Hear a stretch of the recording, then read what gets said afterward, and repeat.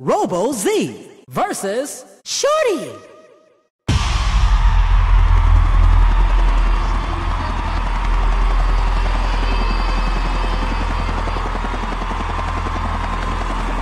Tonight's the night to remember.